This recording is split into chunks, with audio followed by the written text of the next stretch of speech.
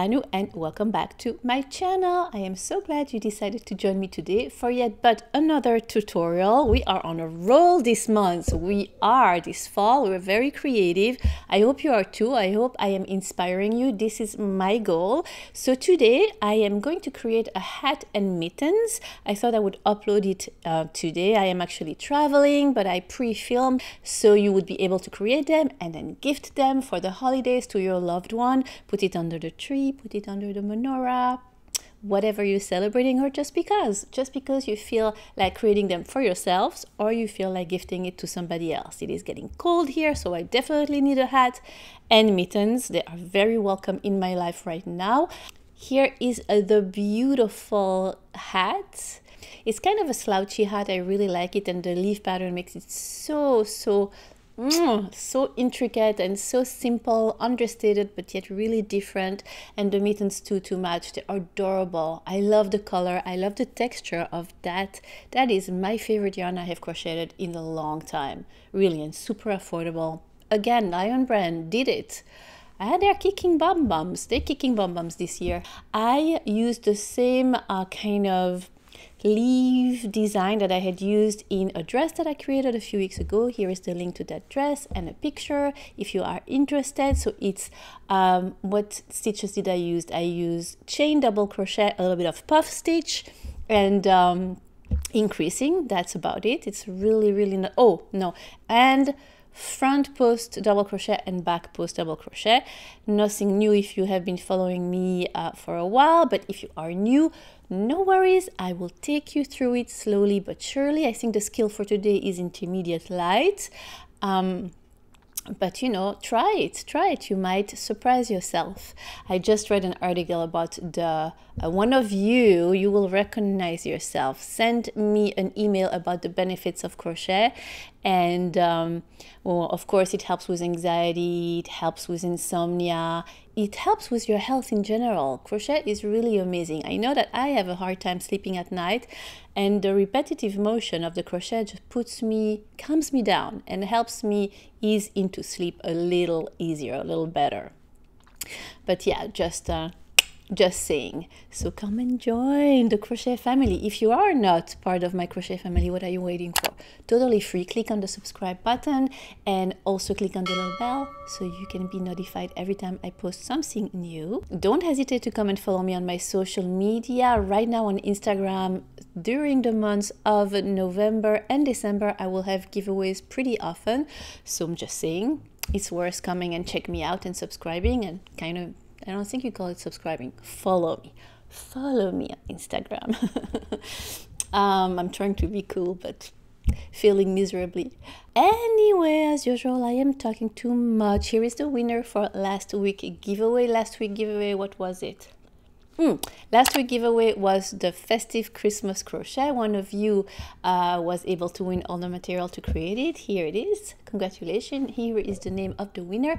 And for today, as usual, one of you will be able to use all the materials to create the crochet and the hat. And uh, for that, you just need to be subscribed to my channel and comment down below in the comment box. I will try also to put substitution yarns for you if you cannot find the Lion brand jeans yarn that I am using for this tutorial. And yes, I think that is it. Yes, so voila. Um, I think that's it. If you are interested in creating this beautiful hat and mittens, then keep on watching. I will see you next time. I hope everything is well. In the meantime, bye. For this tutorial, you will need one skein of yarn from the brand Lion brand in jeans. The color is top stitch. One crochet hook 4 millimeter, one crochet hook 3.75 millimeter, and then one crochet hook 3.25 millimeters, some scissors, and a tapestry needle.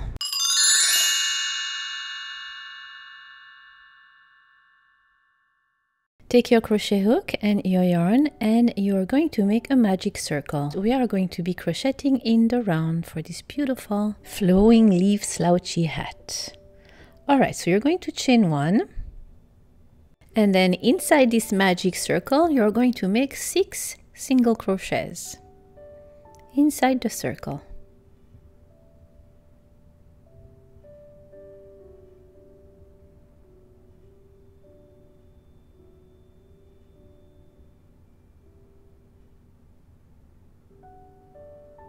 And then you are going to pull on the end yarn to close your magic circle and you're going to slip stitch with the first single crochet you had made.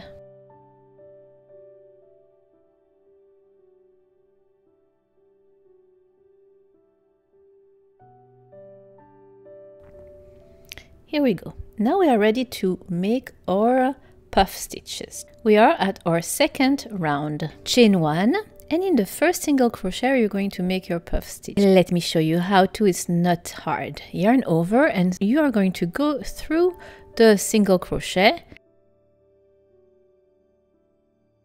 and yarn over and back. You have three loops on your crochet hook. Repeat, yarn over through that same stitch. Oops, through the stitch, I know. yarn over and back and you will have five loops on your hook. Give it a little tug so it's not too tight on your hook. Yarn over and again through that same stitch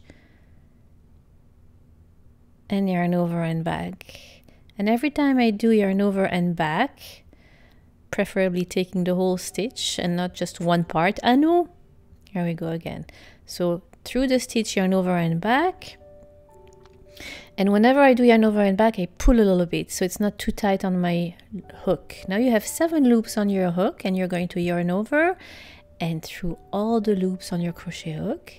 And to seal that little puff stitch, you're going to make a chain. Here you go, you just created a puff stitch. Now we need another one. Exactly in that same single crochet chain. Yarn over through the stitch. Yarn over and back, give it a little pull. You have three loops on your crochet hook.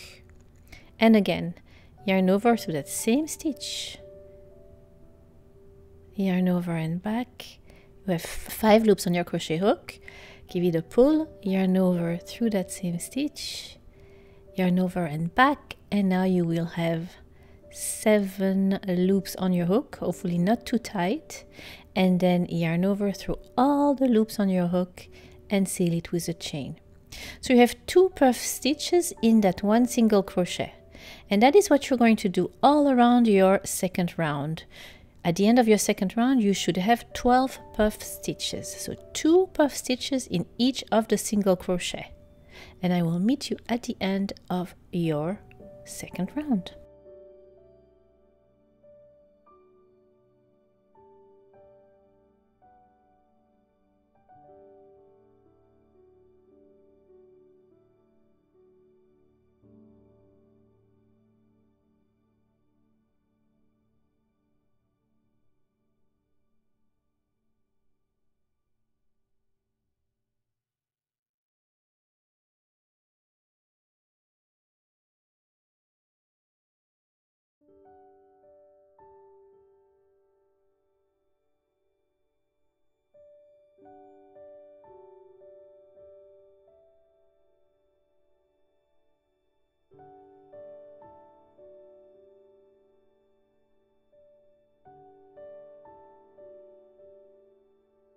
At the end of your second round, you have 12 little puff stitches in total, grouped by two, so six groups of two puff stitch. All right, to finish your second round, you're going to slip stitch on top of the first puff stitch you had made. And let's tackle the third round. For the third round, you are going to make a puff stitch in the middle of the two puff stitches you had made at round two. In that chain in between those two puff stitches you're going to make a puff stitch.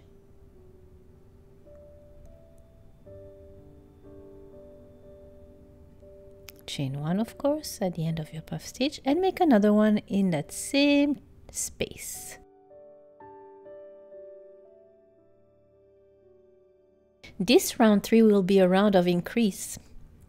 So in between the next group of two puff stitches, you're going to make two puff stitches. So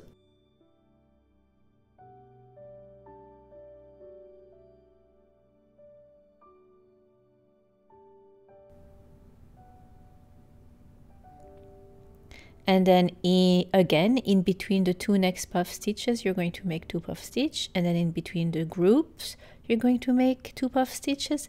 At the end of your third round you should have 12 groups of two puff stitches. So 24 puff stitches in total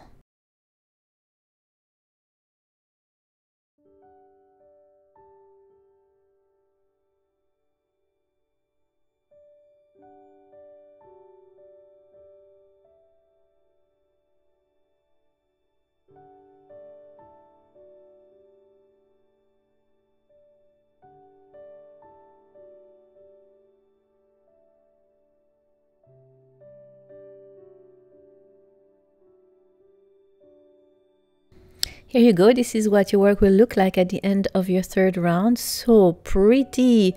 We're creating the top of your hat. So that will be right on top of your head. So you have 24 puff stitches in total.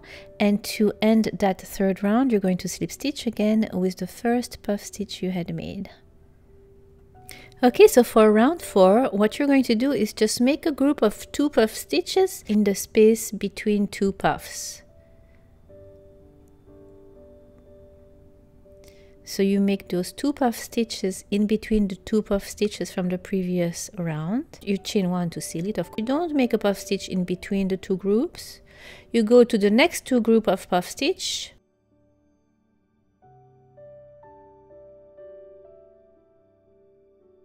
And you make two puff stitches in that space. If we say that two puff stitches are a flower, this round will be two puff stitches in between those flowers, in between those two puff stitches from the previous round. Not in between the two group, just in that space between each two flower. So at the end of this round, you will still have the same amount of puff stitches. There was no increase. We have 24 puff stitches in total. We have 12 groups of two flowers. Slip stitch at the end of your fourth round and now we will make the fifth one. For the fifth round we're going to incorporate a double crochet in between our little groups of two flowers. So to begin that round you're going to begin regularly making those two little puff stitches in the middle of the two puff stitches from the previous round. But then in the space between the two groups of two puff stitches right there, you're going to make a double crochet. And you are going to repeat that all around your fifth round. So here you go. In the middle of the flower, make two puff stitches. So you create a flower in the middle of the flower from the previous round, basically.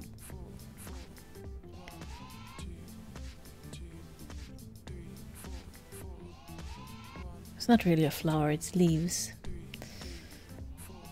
And then in between the two little leaves, the group of two little leaves, next group in that space, you're going to make a double crochet. And you're going to repeat this all around this fifth round. We will still have 24 little puff stitch, 12 groups of two little leaves, but they will be separated by a double crochet. I will meet you at the end of your fifth round.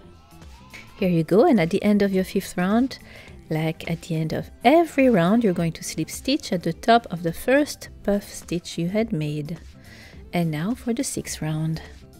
Make your two puff stitches in between the two puff stitches from the previous round regularly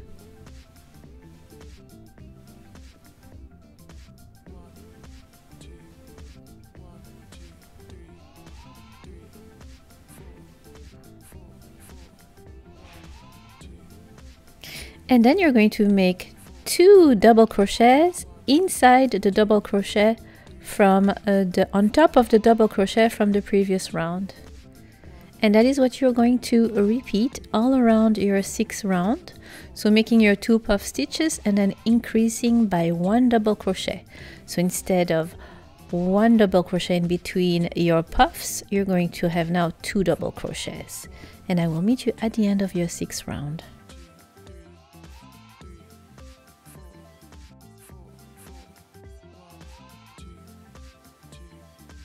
Oh, so pretty. I love the way it looks. Love the way it looks. All right, round seven will be yet but another round of increase. So you're going to make your two puff stitches as usual.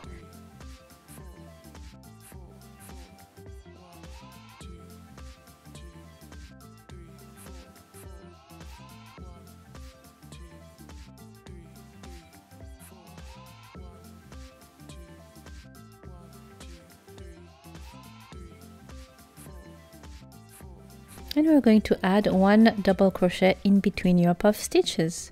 So you had two double crochets and now you want to have three. So make a double crochet on top of the double crochet from the previous round. And then uh, in between the two double crochets make an extra one in that space in between and then another one on top of the third double crochet and ta-da you have three double crochets Repeat this all around and I will meet you at the end of your round.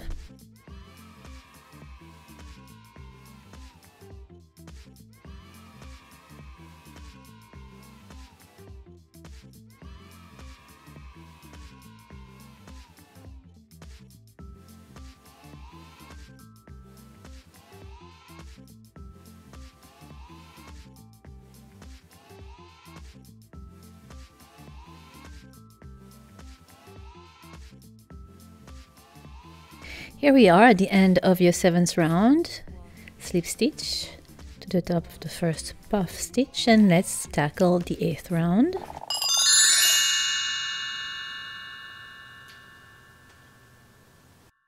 Begin as usual by making two puff stitches in the middle of the two puff stitches from the previous round.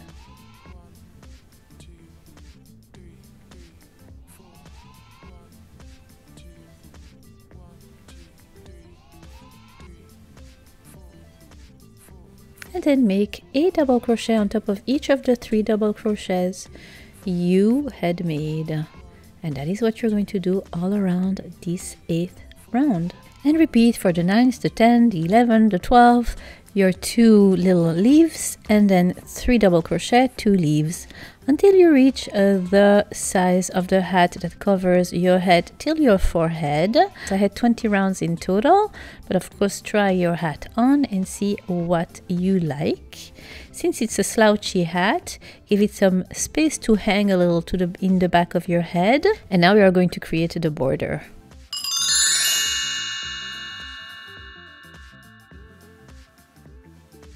And for that we're going to take a smaller crochet hook to make the ribbed edge a little tighter. So take off your 4 millimeter hook and replace it by a 375 millimeter hook. All right. Now you're going to chain three and that will count as your first double crochet and now we're going to make double crochets. You're going to make a double crochet on top of each of your little leaf or little puff stitch. The first chain three will count as your first double crochet on top of the first leaf. Make one on the second one and then make a double crochet on top of each of the three double crochets from the previous round. And then a double crochet on top of each of the puff stitches. So one here on top of one leaf and then one on top of the next leaf. And then again, pick up three double crochet, one on top of each of the three double crochets you had made. And you're going to do that all around.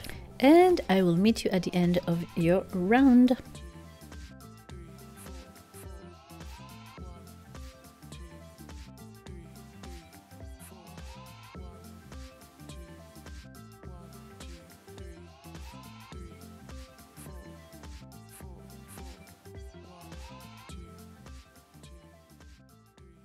At the end of your round, you're going to slip stitch at the top of the first chain three you had made. All right, the second round of your brim will be made with front post double crochets and back post double crochet.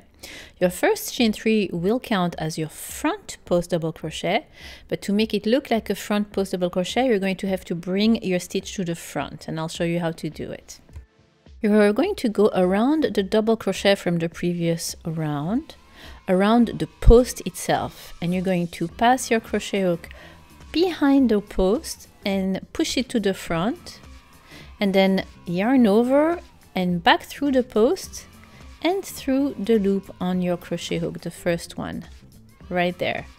And just like that, you brought your stitch to the front of your work. Now you're going to chain three and that will count as your first front post double crochet. What is left for me to do next is to show you how to make a front post double crochet. So you're going to yarn over and then you're going to pass your crochet hook around the next post from uh, the front to the back, yarn over and back. And you're going to have three loops on your hook, yarn over through two loops, two loops on your hook and yarn over through those two loops and you are done. This is how you make a front post double crochet. And now let's make back post double crochets. Because this round is made out of two front post double crochet, two back post double crochet, repeat all around. Your first chain three counted as your first front post double crochet, you made another one, and now let's make two back post double crochet. You are going to yarn over. Instead of coming from the front, you're going to come from the back around your post and push it to the back of your work. And then yarn over back through the post. You have three loops on your hook. Yarn over through two loops. You have two loops on your hook and yarn over through two loops. Let's do this again. You're bringing your double crochet to the back, yarn over from the back to the front, wrapping around the post, bringing it to the back, yarn over back through the post, three loops on your hook, yarn over through two loops and yarn over through two loops again. And just like that, you made two back post double crochet. And as I always say, front post double crochet are the extroverts. They want to be at the front of everything in your face. And the back post double crochet are the shy one. They want to be left alone and they want to be very discreet in the back of your work. So for this round, you're going to continue by making two front post double crochet, two back post double crochet until the end of your round. And when you are done with this round, we are going to go to yet another crochet hook, the smallest, 3.25 millimeters, and we're going to continue just making rounds and rounds of two front post double crochet, two back post double crochet. So at the third round of your ribbed edging, you're going to bring the stitch to the front, exactly the same way we had done at your second round. That will count as your first chain three and it will count as your first front post double crochet. Make a second front post double crochet and then two back post double crochet. Around the two back post double crochets from the previous um, round. And you're going to continue like that round and rounds. For my edging i had one let me see one two three four five rounds of this pattern. And then at the end of my fifth round when I was satisfied with the look of my hat I just fastened up. And I sewed all the loose tails at the back of my work and ta-da voila my hat was done that is it, my friends. We just created this beautiful flowing leaf hat, slouchy hat, and I absolutely love it. I think it's super, super cute. What do you think? I hope you have enjoyed this tutorial as much as I have enjoyed creating it for you. I am looking forward to many, many more. Come back next week to know how to create the mittens to match this adorable little hat. In the meantime, happy crochet and see you soon. Bye! I'm all over the place today. Absolutely all over the place. I think we're going to begin this again. All right? And front post double. Ah, itchy. Itchy. and for today, of course, one of you will be able. um, it's kind of a slouchy, it's a, it's a between a slouchy hat and slouchy